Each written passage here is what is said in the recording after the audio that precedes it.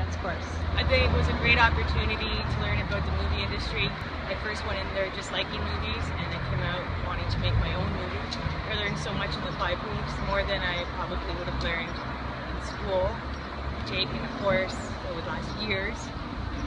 And I got to meet really great people, I made friends, and the instructor Mazahir was like fantastic. He was really nice, kind, and really patient, especially for a man.